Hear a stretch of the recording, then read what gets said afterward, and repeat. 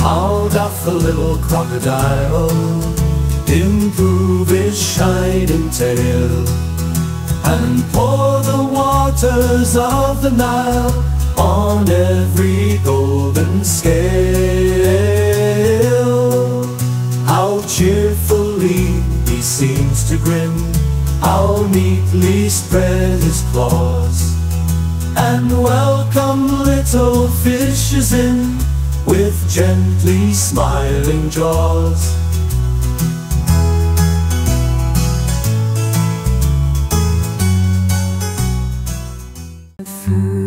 He said to a mouse that he met in the house Let us both go to law, I will prosecute you. Come, I'll take no denial. Must have a trial For really this morning I've nothing to do. Said the mouse to the cur Such a trial, dear sir.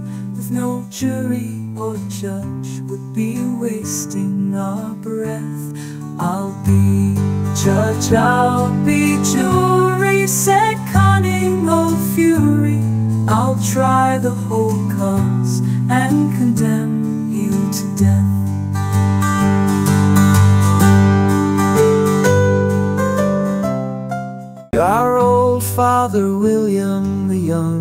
said, And your hair has become very white. And yet you incessantly stand on your head. Do you think at your age it is right? In my youth, Father William replied to his son I feared it might injure the brain. But now that I'm perfectly sure I have none Why I do it again and again. You are old, said the youth, as I mentioned before And have grown most uncommonly fat. Yet you turned a back somersaulting at the door. Pray what is the reason of that? In my youth, said the sage as he shook his grey locks. I kept all my limbs very supple. By the use of this ointment, one shilling the box.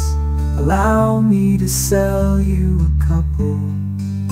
In my youth, said the sage as he shook his grey locks I kept all my limbs very supple. By the use of this ointment, one shilling the box. Allow me to sell you a couple. You are old, said the youth, and your jaws are too weak For anything tougher than suet Yet you finished the goose with the bones and the beak. Pray how did you manage to do it? My youth, said his father, I took to the law And argued each case with my wife. And the muscular strength which it gave to my jaw Has lasted the rest of my life. You are old, said the youth, one would hardly suppose That your eye was as steady as ever Yet you balanced an eel on the end of your nose What made you so awfully clever? I have answered three questions and that is enough Said his father, don't give yourself airs Do you think I can listen all day to such stuff? Be off or I'll send you downstairs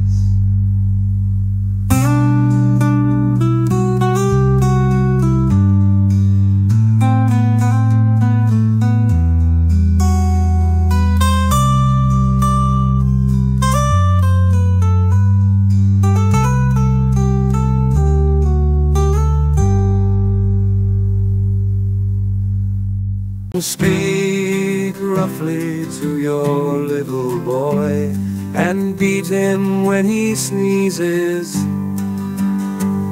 He only does it to annoy Because he knows it teases Wow, wow, wow, wow.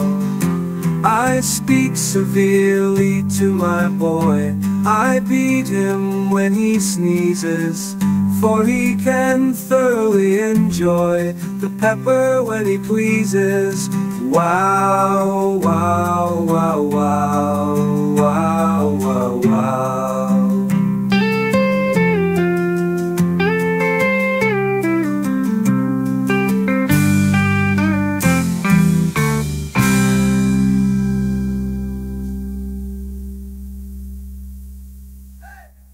Twinkle, twinkle, little bat How I wonder what you're at. Up above the world you fly Like a tea tray in the sky. Twinkle Twinkle, twinkle, twinkle, twinkle, twinkle, twinkle Twinkle,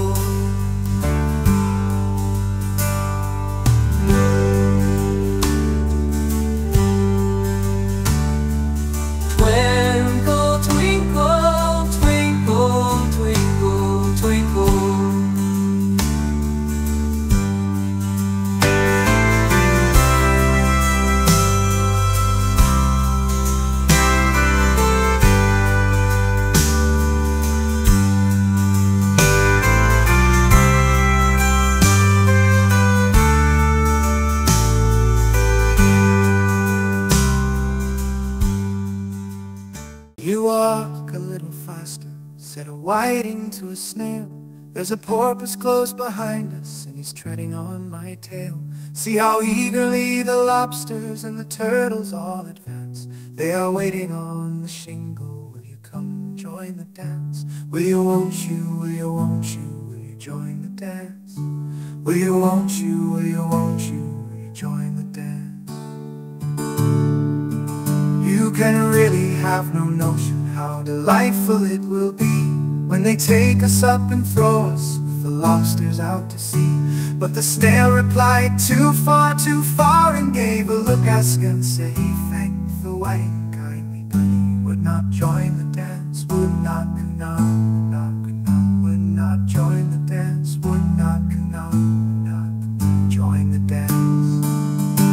what matters it how far we go? His scaly friend replied There is another shore, you know, upon the other side.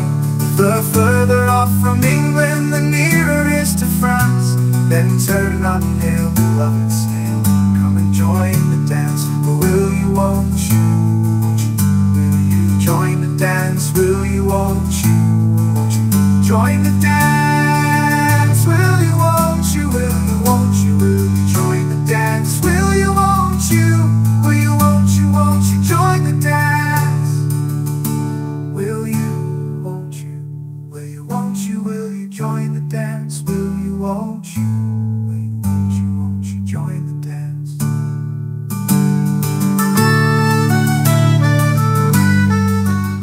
Is the voice of the lobster.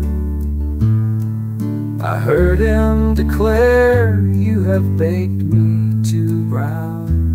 I must sugar my hair As a duck with its eyelids. So he with his nose Trims his belt and his buttons And turns out his toes.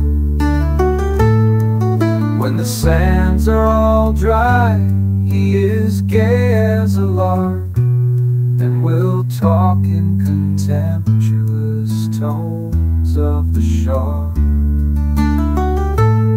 But when the tide rises and sharks are around His voice is a timid, tremulous sound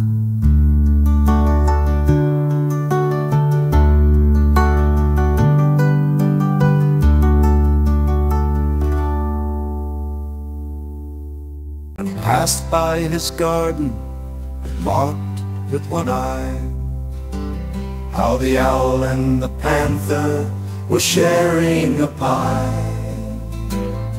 The panther took pie crust and gravy and meat, While the owl had the dish as its share of the treat When the pie was all finished The owl as a boon Was kindly permitted to pocket the spoon While the panther received knife and fork with a growl And concluded the banquet.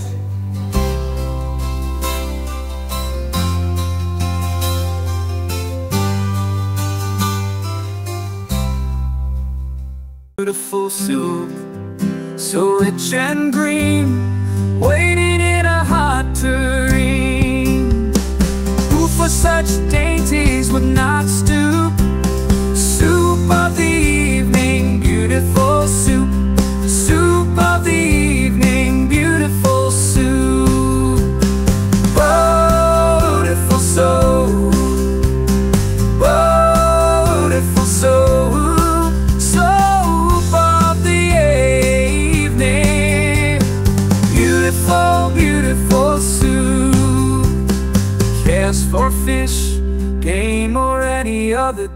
Who would not give all else for to be Any worth only of beautiful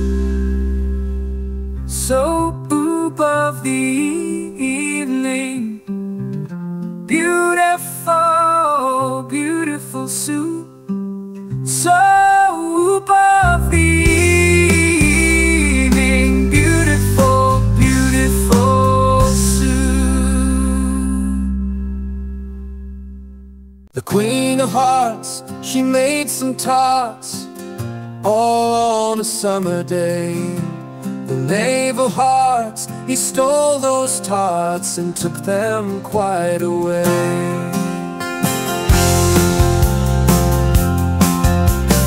Queen of hearts, she made some tarts all a summer day. The of hearts, he stole those tarts and took them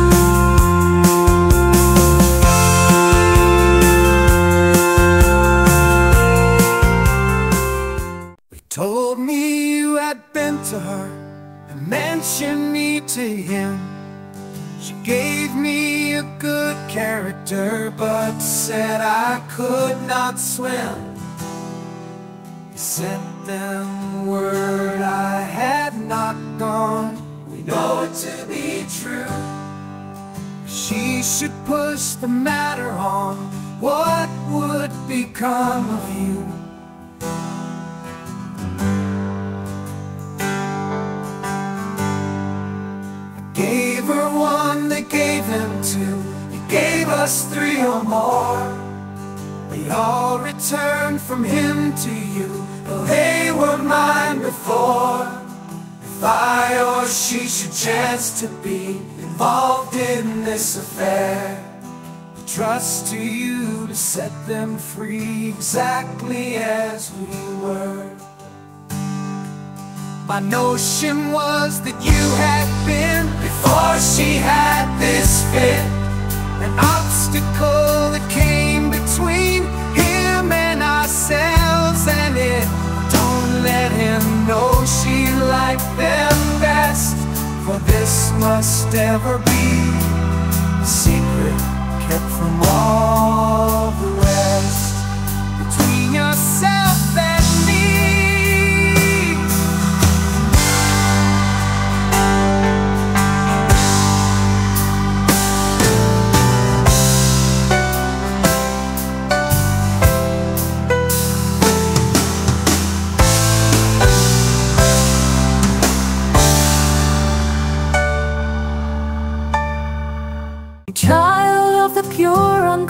brow and dreaming eyes of wonder. Though time be fleet and I and thou are half a life asunder Thy loving smile will surely hail the love gift of a fairy tale.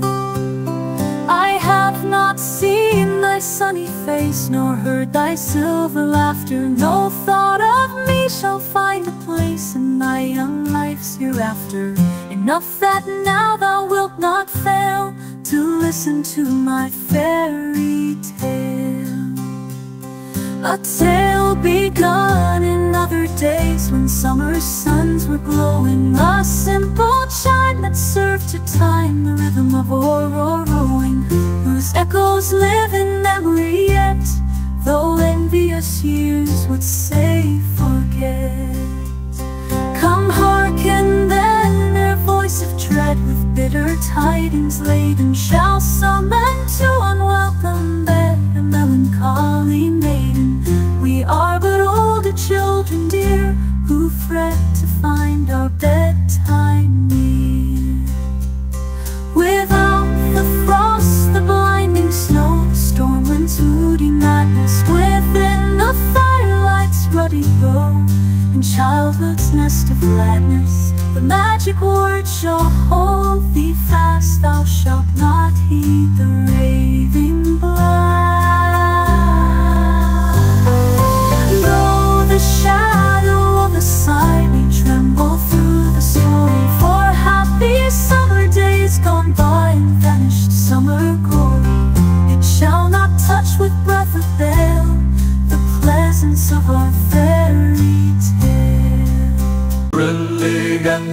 toads did gyre and gimble in the wabe. Oh, Mimsy were the borogoves and the lone rats outgrabe. We were the Jabberwock, my son, the jaws that bite, the claws that catch. Beware the jub jub bird and shun the frumious bandersnatch. She took his vorpal sword in hand, long time the manxome foe he saw.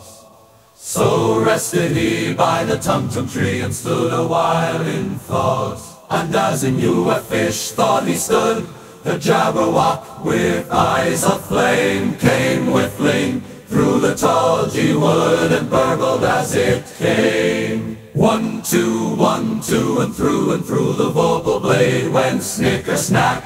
He left it dead, and with its head he went galumphing back.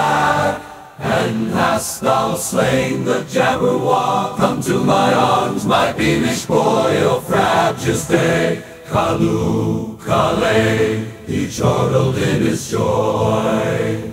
'Twas brillig and the slithy toads did gyre and gimble in the way. All mimsy were the borogoves and the mome raths out grey.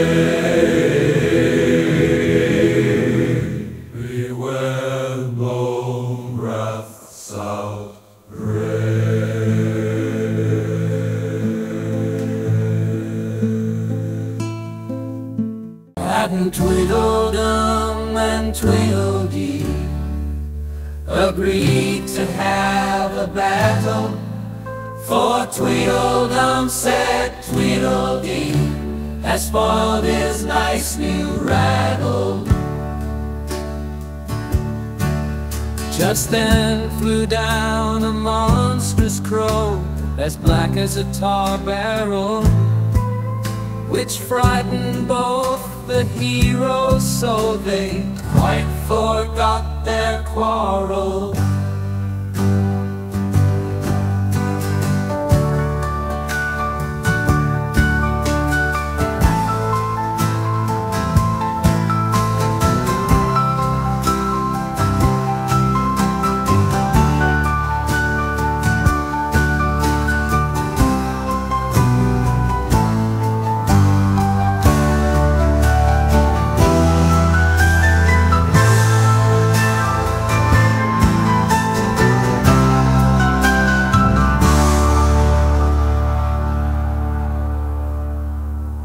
Just then flew down a monstrous crow As black as a tar barrel Which frightened both the heroes So they quite forgot their quarrel.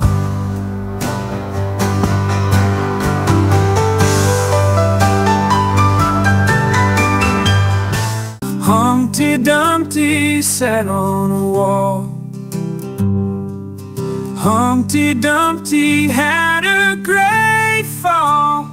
All the king's horses and all the king's men Couldn't put Humpty Dumpty in his place again.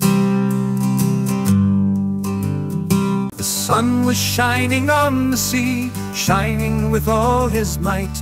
He did his very best to make the billows smooth and bright and this was odd because it was the middle of the night.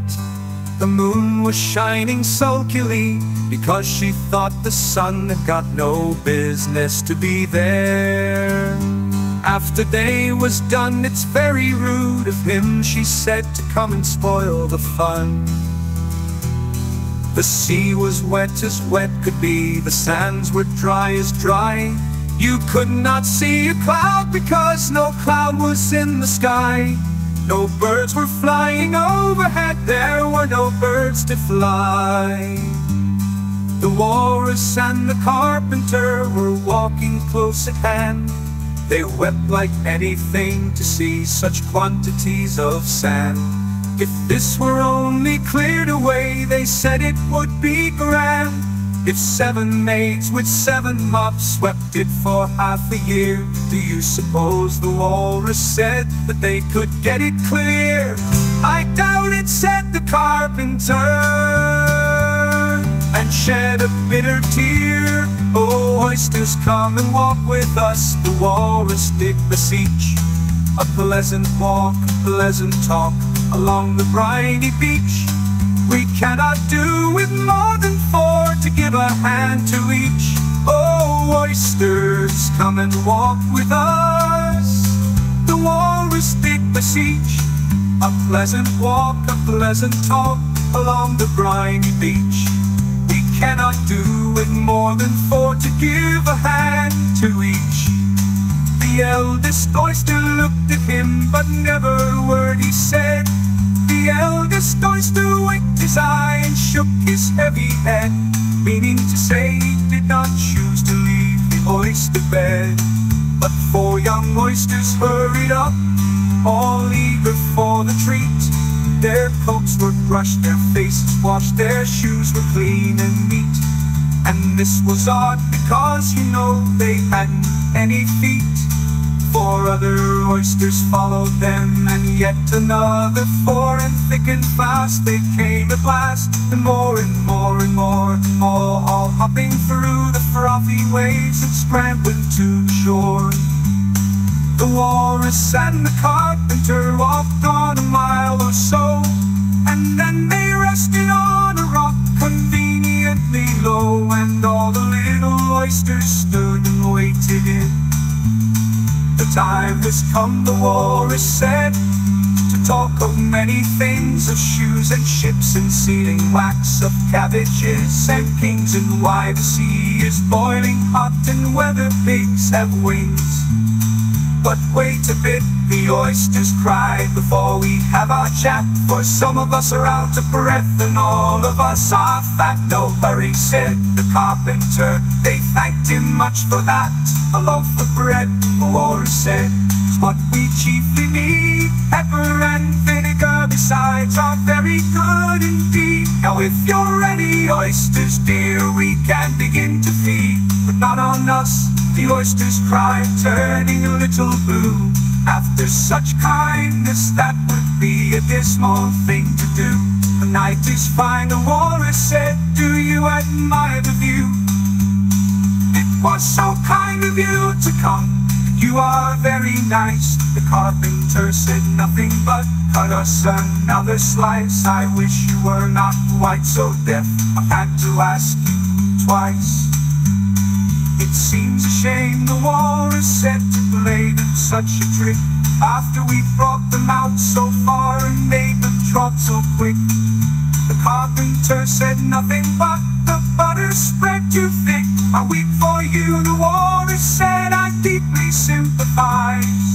Sobs and tears he sorted out those of the largest size, holding his pocket handkerchief for his streaming eyes. Oyster said the carpenter, you've had a pleasant run. Shall we be trotting home again? But answer came there none. And that was scarcely odd, because they'd eaten everyone. And winter, when the fields are white, I'll sing this song for your delight. In spring, when woods are getting green, I'll try and tell you what I mean. In summer, when the days are long, perhaps you'll understand the song. In autumn, when the leaves are brown, take pen and ink and write it down. I sent a message to the fish, I told them this is what I wish. The little fishes of the sea, they sent an answer back to me. The little fishes' answer was, we cannot do it, sir, because I sent to them again to say it will be better to obey. The fishes answered with a grin, Why, what a temper you are in. I told them once, I told them twice, they would not listen to advice. I took a kettle large and new, fit for the deed I had to do. My heart went honk, my heart went thump, I filled the kettle at the pump. And someone came to me and said, The little fishes are in bed. I said to him, I said it plain, then you must wake them up again. I said it very loud and clear, I went and shouted in his ear. But he was very stiff and proud, he said you needn't shout so loud. Well, he was very proud and stiff. He said I'd go and wake them if I took a corkscrew from the shelf. I went to wake them up myself, and when I found the door was locked, I pulled and pushed and kicked and knocked. And when I found the door was shut, I tried to turn the handle, but well, fishes answer if found the door was locked. I pulled and pushed and kicked and knocked, and when I found the door was shut, I tried to turn the handle, but fishes answer if found the door was locked. I pulled and pushed and kicked and knocked, and when I found the door was shut, I tried to turn the handle, but Fishes answer all a found, a found. The lion and the unicorn were fighting for the crown. The lion beat the unicorn around the town. Some gave them white bread, some gave them brown. Some gave them plum cake and drummed them out of town.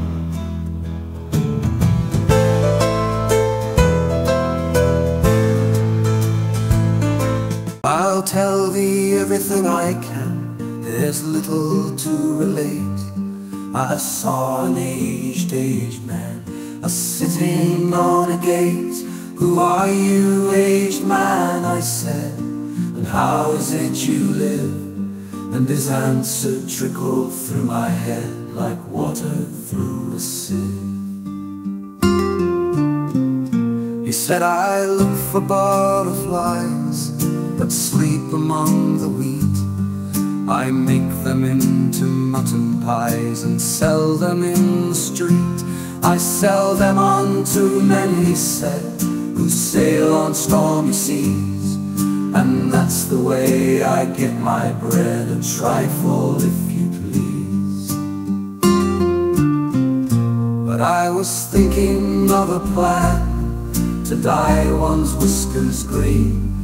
And always use so large a fan that they could not be seen. So having no reply to give to what the old man said, I cried, come tell me how you live, and thumped him on the head. His accent's mild took up the tale, he said I go my ways. And when I find the mountain rill I set it in a blaze And thence they make a stuff they call Rowland's Macassar oil Yet twopence halfpenny is all They give me for my toil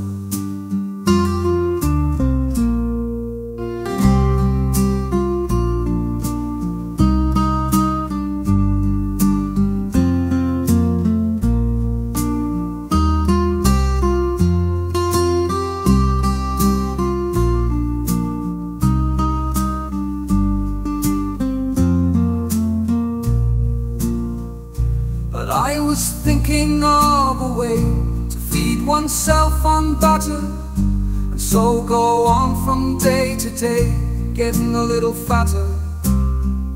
I shook him well from side to side Until his face was blue.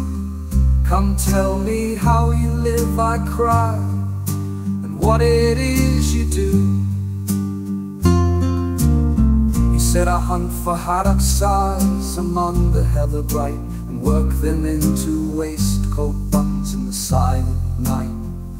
And these I do not sell for gold Or coin of silver shot But for a copper halfpenny And that will purchase nine. I sometimes dig for buttered rolls Or set light twigs for crabs. I sometimes search the grassy knolls For wheels of hansom cabs that's the way he gave a wink by which I get my wealth. And very gladly will I drink your noble health. I heard him then, for I had just completed my design To keep the Menai Bridge from rust by boiling it in wine. I thanked him much for telling me the way he got his wealth, but chiefly for his wish that he might drink my noble health. And now if ever by chance I put my fingers into glue, or madly squeeze a right hand foot into a left hand shoe, or if I drop upon my toe a very heavy weight, I weep for it reminds me so of that old man I used to know. Whose look was mild, whose speech was slow Whose hair was whiter than the snow. Whose face was very like a crow With eyes like cinders all aglow. Who seemed distracted with his woe. It mumblingly and low As if his mouth were full of dough snorted like a buffalo. That summer evening long ago Sitting on a gate. Hush by Lady in Alice's lap Till the feast is ready We've time for a nap. When the feast is over We'll go to the ball.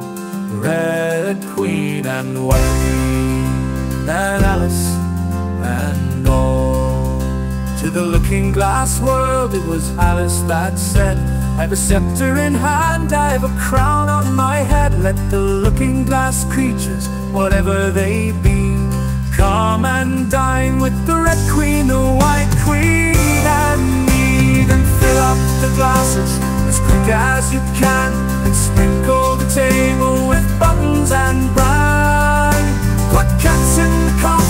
and the tea and welcome Queen Alice with 30 times three.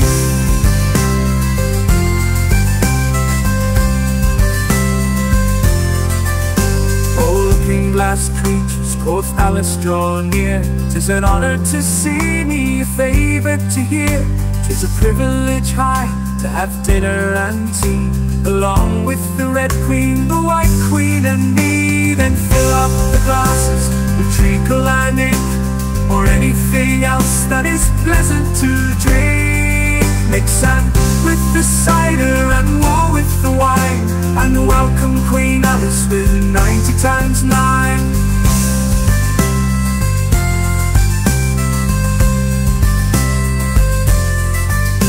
Then fill up the glasses with treacle and ink anything else that is pleasant to drink.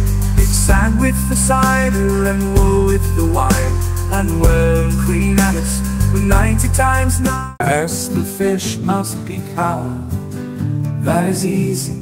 Baby I think could have caught it. Next the fish must be bought. That is easy. A penny I think would have bought it. Now cook me the fish That is easy will not take more than a minute Let it lie in a dish That is easy Because it already is in it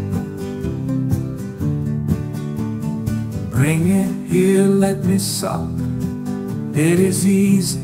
Set such a dish on the table. Take the dish cover up. Ah, that is so hard that I fear I'm unable. For it holds it like glue, holds the lid to the dish while it lies in the middle. Which is easiest to do? Undish cover the fish or dish cover the riddle?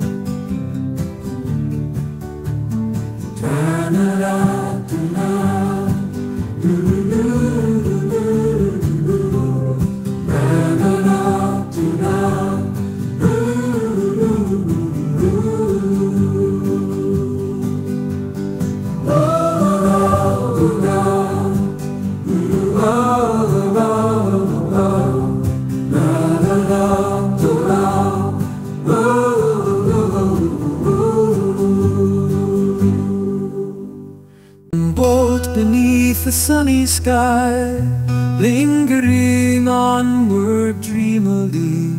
In an evening of July Children three that nestle near Eager eye and willing ear. Pleased a simple tale to hear Long has paled that sunny sky Echoes fade and memories die. Autumn frost has slain July. Still she haunts me phantom-wise Alice moving under skies Never seen by waking eyes. Children yet the tale to hear Eager eye and willing ear Lovingly shall nestle near In a wonderland they lie Dreaming as the days go by Dreaming as the summers die. Ever drifting down the stream Lingering in the golden gleam Life, what is it but a dream?